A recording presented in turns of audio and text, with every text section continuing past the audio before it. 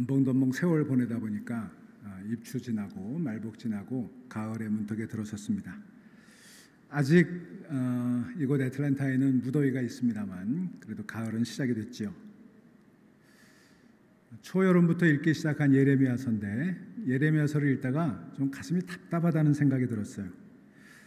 이게 2600년 전에 쓰인 책인데 어쩌면 그때나 이때나 다를 게 없을까? 어느 시대든 예언자의 말에 귀를 기울이는 사람이 별로 없다는 사실이 어, 여기서 확인되고 있기 때문에 마음이 좀 답답했어요.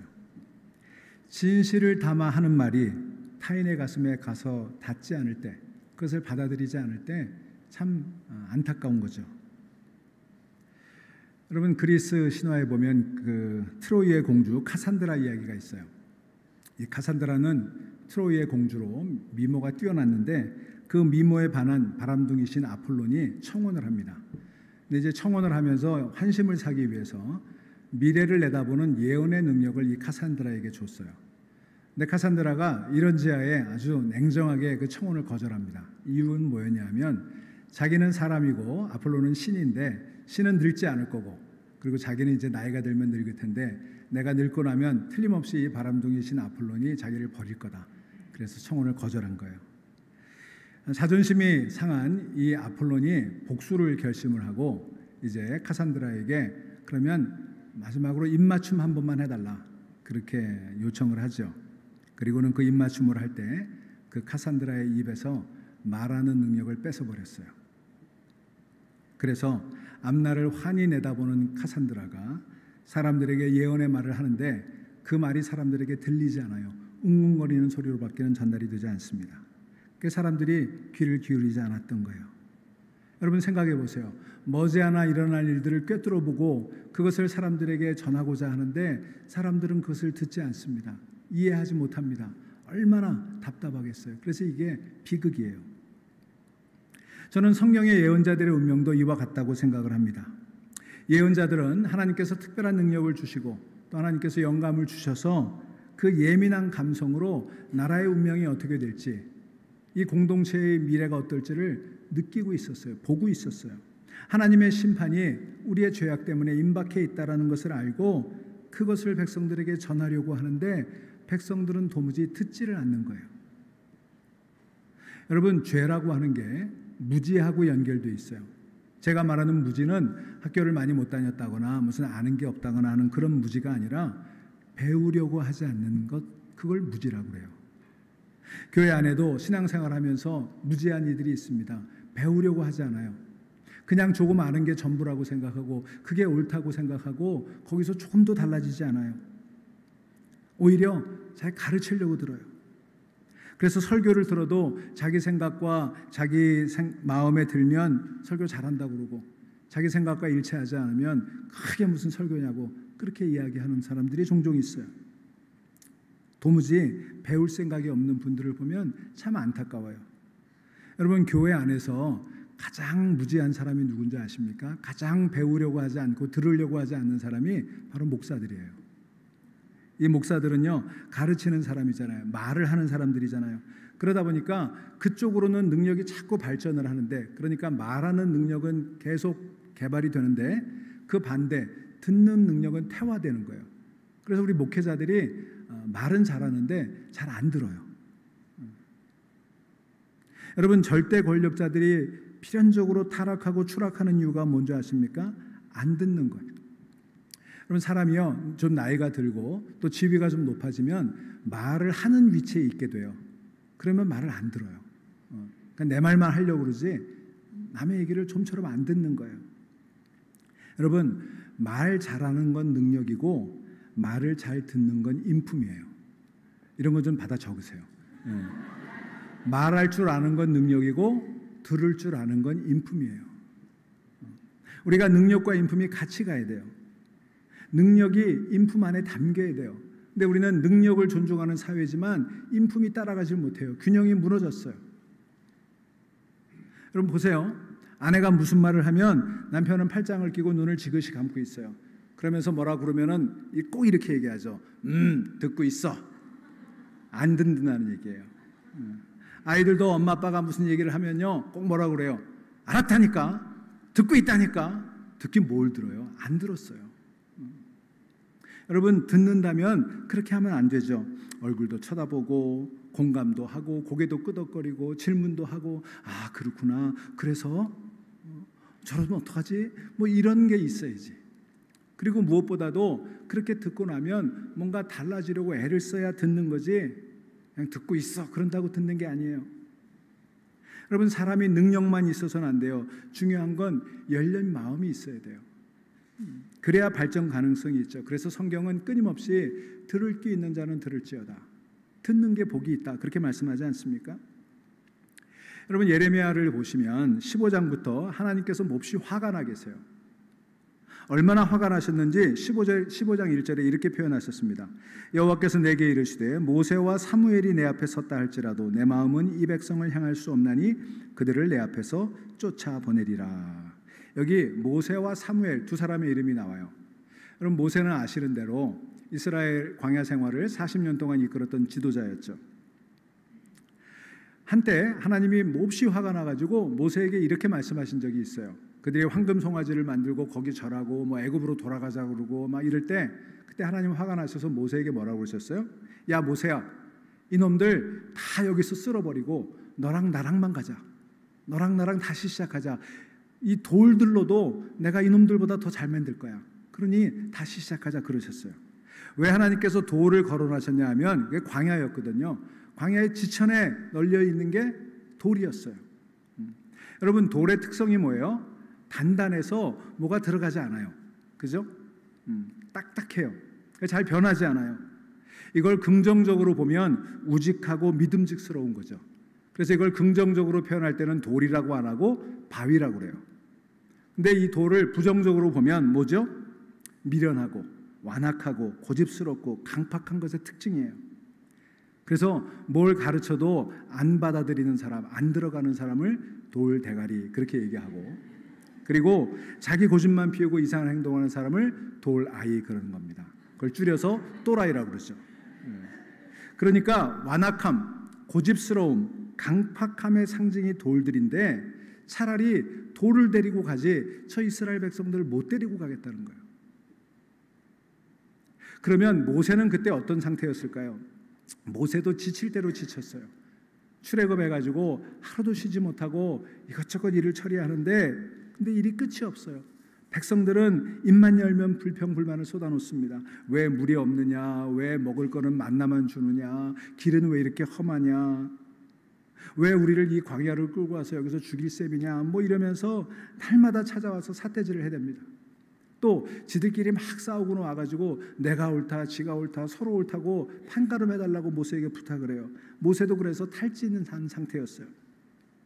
그러니 하나님께서 그 모세에게 모세도 지금 지쳤는데 야 다 때려치고 저놈들 다 쓸어버리고 너하고 나하고만 가자. 그러면 모세가 동의했어야죠.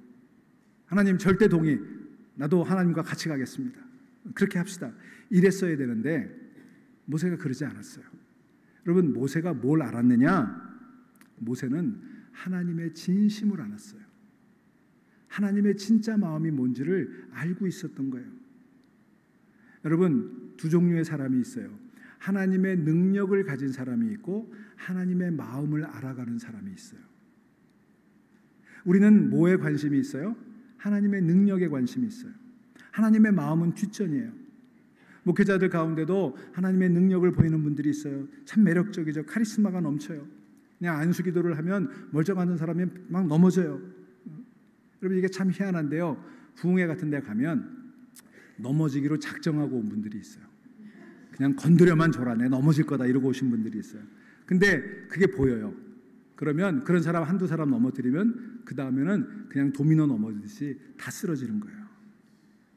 여러분, 그거를 하나님의 능력이라고 말할 수는 없겠지만 어쨌든 정말 하나님의 능력도 중요하지만 하나님의 마음을 아는 게 더 중요한 거예요.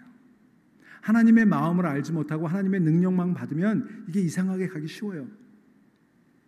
모세는 처음에 하나님의 능력을 받았어요. 그래서 애굽에서 기적도 일으키고 바로를 무릎 꿇게 하지 않았습니까? 근데 시간이 갈수록 모세는 하나님의 능력보다는 하나님의 마음을 알아가는 사람으로 변해갔어요. 그래서 하나님이 화가 나가지고 이 백성 다 쓸어버리고 차라리 이 광야에 돌들 데리고 가자 그렇게 얘기했을 때 하나님의 진심을 알았기에 뭐라고 얘기해요? 하나님 왜 이러세칸? 잠깐만 기다리세요. 하나님 좀 참으시죠. 하나님 좀 캄다운 하시죠. 제가 하나님 좀 아는데 하나님 그런 분 아니잖아요. 하나님 말씀은 그렇게 하지만 그거 하나님 진심 아니잖아요. 그러니 우리 다시 생각해 봅시다. 오히려 하나님을 캄다운 시켰어요. 여러분 우리도 그렇잖아요. 우리가 세상 볼 때 짜증 낼 때가 있어요. 이 망할 놈의 세상 확 뒤집어졌으면 좋겠다 싶을 때가 있지 않습니까? 제가 요즘요 웬만하면 한국 뉴스를 안 보려고 그래요.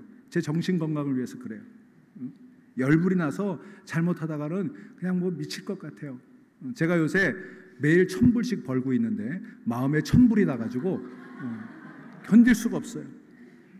여러분 어떻게 나라가 하루 아침에 그렇게 삼류 국가로 전락할 수 있을까? 미국도 그래요. 여러분 미국을요 지구상에서 가장 오래된 현대 국가다 이렇게 얘기해요. 현대 국가의 시스템을 가장 오랫동안 갖춰온 나라가 미국이었어요. 그리고 민주주의 제도가 가장 잘 정착된 나라가 미국이었는데 요즘 어떻습니까? 더 이상 미국이 인류 국가라고 말할 수 없는 후진국에서나 있을 수 있는 일들이 버젓이 일어나고 있어요. 음, 이럴 때마다 천불이 생기는 거예요. 근데 여러분 우리가 이럴 때 잘 생각해야 돼요. 이럴 때 어떤 위치에 설 건가? 그냥 불평하고 비난하고 욕하고 짜증내고 끝낼 것인가? 아니면 이 나라를 붙들고 이 백성들을 붙들고 하나님 앞에 기도하며 나아갈 것인가? 혀를 차고 욕하는 거 쉬워요. 누구나 할 수 있어요. 그러나 그때 그걸 붙들고 오늘 찬양처럼 하나님 이 나라 하나님의 나라가 되게 해 주십시오.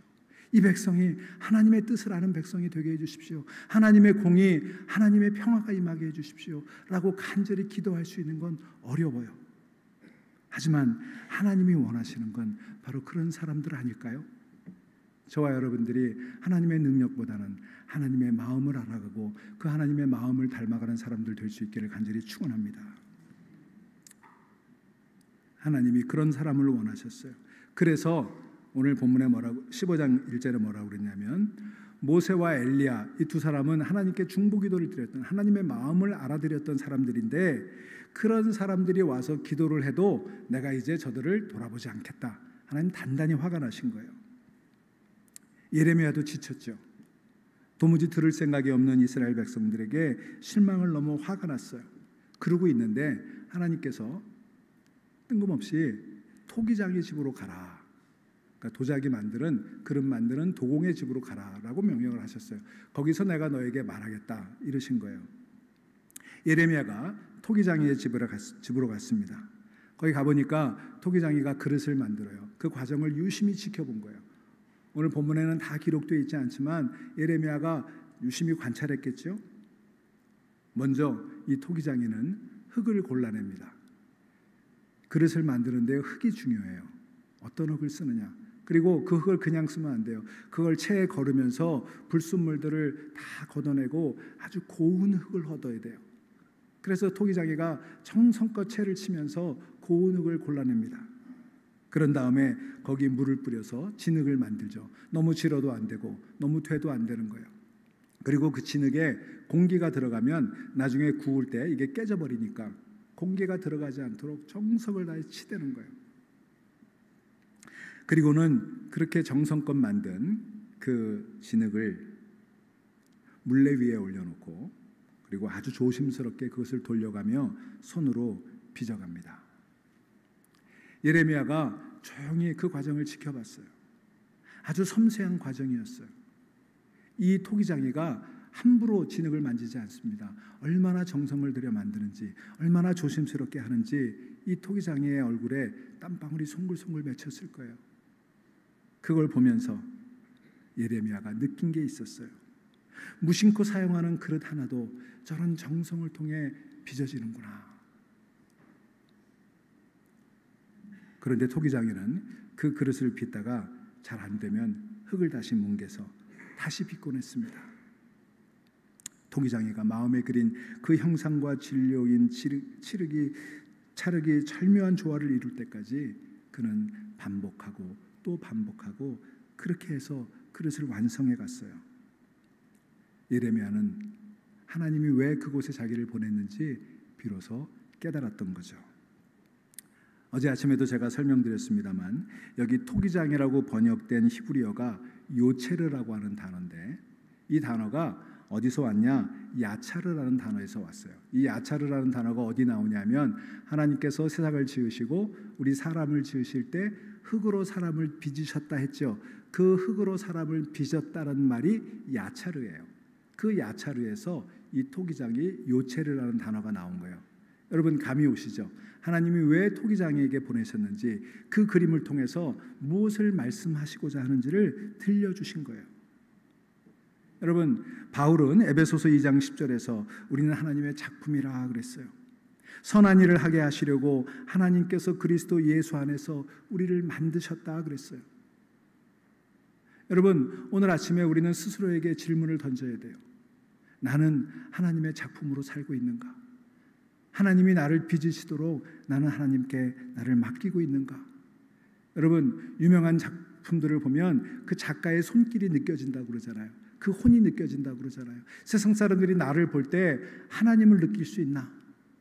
저게 하나님의 작품이구나. 세상 사람들이 나를 통해 볼 수 있을까요? 여러분 그 질문을 저와 여러분들 각자에게 할 수 있는 시간 되기를 바랍니다. 하나님은요. 우리가 어긋난 길로 가서 좀처럼 돌이키지 않을 때면 우리를 새로 빚으시기 위해서 때로 우리에게 물을 타세요. 혹시 너무 된가? 그게 슬픔일 때도 있고 고통일 때도 있고 질병일 때도 있고 고독일 때도 있어요. 이 말을 오해하시면 안 됩니다. 하나님께서 우리에게 그런 재앙을 가져다 주시는 분이다. 이렇게 생각해서는 안 돼요. 사실 그런 것들은 우리의 잘못, 우리의 불찰 때문에 오는 경우가 훨씬 더 많죠. 그런데 놀라운 것은 우리가 한사코 겪고 싶지 않은 그런 일들이 우리 인생에 닥쳐오는데 그런 부정적인 경험이 우리를 본래의 자리로 되돌이키곤 한다는 사실을 여러분 아세요? 하나님은 그런 일을 통해서도 우리 가운데 일하세요. 그것을 통해서 우리가 제자리로 갈 수 있도록 하나님이 원하시는 그 모양으로 빚어질 수 있도록 일하고 계신다는 거예요. 바울은 고린도후서 12장 10절에서 내가 약할 그때 오히려 내가 강하다라고 얘기했어요. 내가 넘어지고 내가 쓰러지지만 그런 넘어지고 쓰러진 나의 실패, 나의 좌절, 나의 아픔을 하나님께 드릴 때 하나님은 그 모든 것들을 만져서 나를 새롭게 빚어 가시고 나를 강하게 만들어 가신다는 거죠. 여러분 그렇기 때문에 우리는 우리의 실패, 우리의 아픔, 상처를 자꾸 하나님께 가져가야 돼요. 그러면 하나님이 그 모든 것을 만져서 우리를 아름답게 빚어 가시는 줄로 믿으시기를 바랍니다. 여러분 세상에 보면 자기의 실수를 인정하지 않는 사람들이 있어요.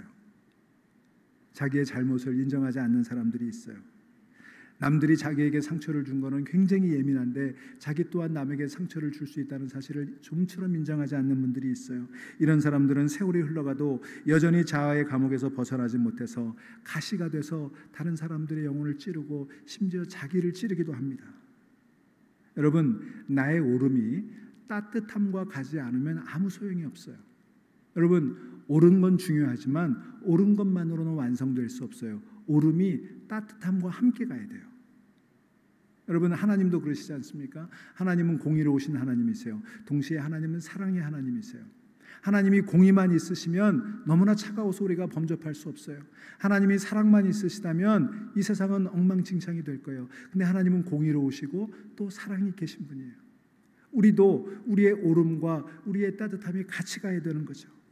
따뜻하다는 게 뭐예요? 다른 사람들이 마음의 여유를 느낄 수 있도록 틈을 만들어 주는 거 아니겠습니까? 가끔 보면요. 틈이 없는 사람이 있어요. 얼마나 갑갑한지 몰라요. 상대방의 입장을 존중해주고 그 말에 귀를 기울이고 진심으로 아껴주는 그런 틈이 있을 때 그때 거기에서 우정이 생기고 관계가 생기고 소통이 이루어지는 건 아니겠습니까? 여러분 이 세상이 왜 그렇게 시끄러운 줄 아세요? 세상에 틀린 사람들만 있어서 엉망된 거 아니에요. 옳, 옳지만 따뜻함이 없는 사람들끼리 모여서 쨍쨍거리는 거예요. 그렇게 우리는 우리를 새롭게 빚어주실 하나님 앞에 자꾸 엎드려야 합니다. 하나님께서 우리의 죄를 정화시켜 주실 때 우리는 비로소 따뜻함과 함께 가는 오름을 간직할 수 있거든요. 우리가 겪는 시련과 아픔, 고독과 실패를 그러니 여러분 하나님께 자꾸 드리세요. 그러면 하나님은 그것을 은총의 통로로 삼아서 우리를 새롭게 빚어 주실 줄로 믿습니다. 하나님은 개인의 삶도 그렇게 인도하시지만 역사도 그렇게 섭리하십니다.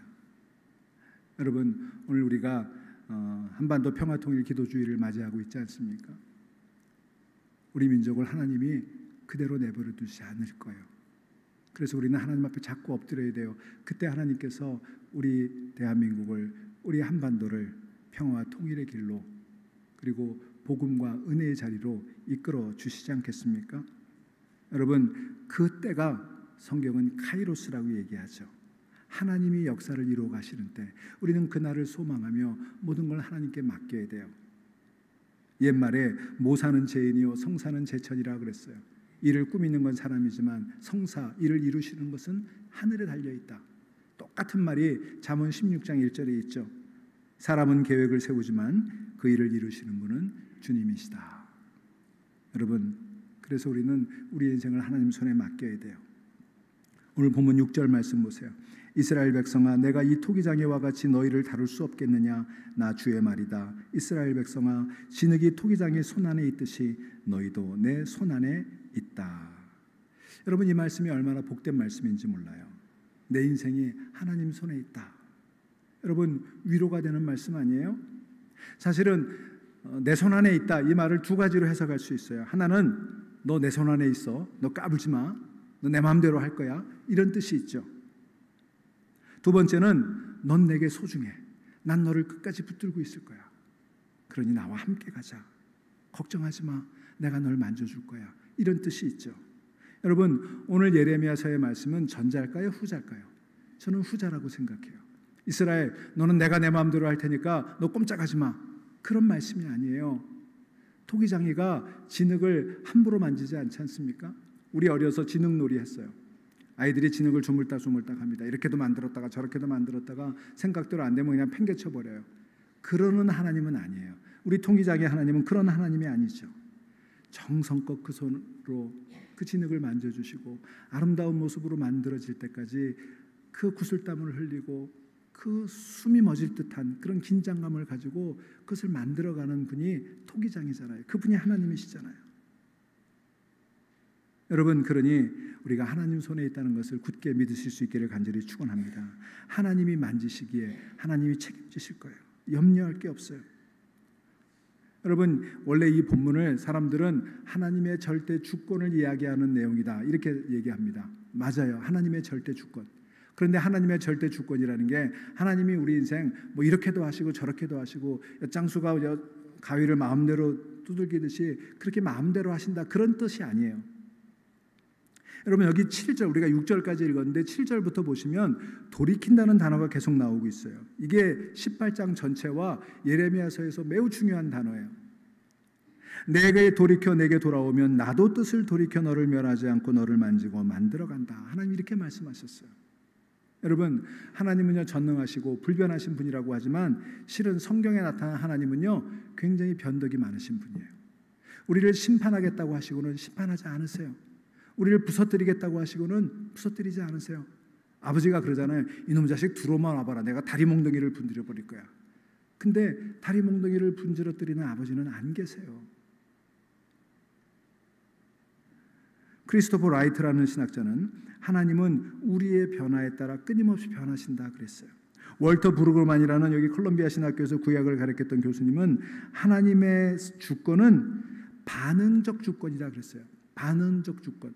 무슨 얘기냐면 우리에 따라서 달라지신다는 거예요. 하나님이 모든 것들을 붙들고 계시는데 그렇다고 하나님 마음대로 내가 처음에 이렇게 계획했으니까 난 이대로 갈 거야 그러시는 분이 아니라 우리의 태도, 우리의 생각에 따라서 우리의 행동에 따라서 자꾸 반응하시는 주권이라는 거예요. 여러분, 하나님은 당신의 계획과 섭리조차도 우리의 반응에 따라 바꾸세요. 신이 뭐 그래 이렇게 불면 소리 할 거 없어요. 하나님은 기다리시고 계획을 바꾸시고 새로운 일을 시작하세요. 그렇기 때문에 우리에게 소망이 있는 것 아니겠습니까? 여러분, 그 하나님의 그 손길에 우리의 인생이 달려 있다는 것을 붙들려 있다는 것을 기뻐하시는 여러분 되시기를 바랍니다. 하나님은 저와 여러분을 함부로 다루지 않으세요. 너는 내 거니까 내 마음대로 할 거야. 그렇게 가지고 놀다가 버리시는 분이 아니에요. 끝까지 버리지 않고 책임지시면서 마침내 그 작품에 당신의 숨을 불어 넣으시죠. 우리를 흙으로 빚으신 하나님, 그냥 흙덩이로 내버려 두지 않고 당신의 혼, 당신의 생기를 불어 넣으셔서 하나님의 작품이 되게 하셨습니다.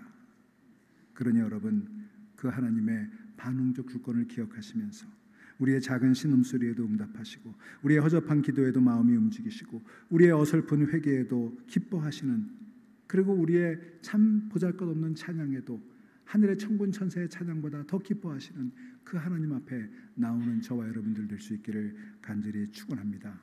오늘 이 시간 우리가 드리는 예배가 바로 하나님께 그런 예배가 될 거예요. 저와 여러분의 간절한 예배가 하나님의 마음을 바꿀 것이고 그 하나님의 손길이 저와 여러분을 더 아름답게 더 복되게 빚어 가시리라 믿고 또 그렇게 선포합니다. 묵상하실까요?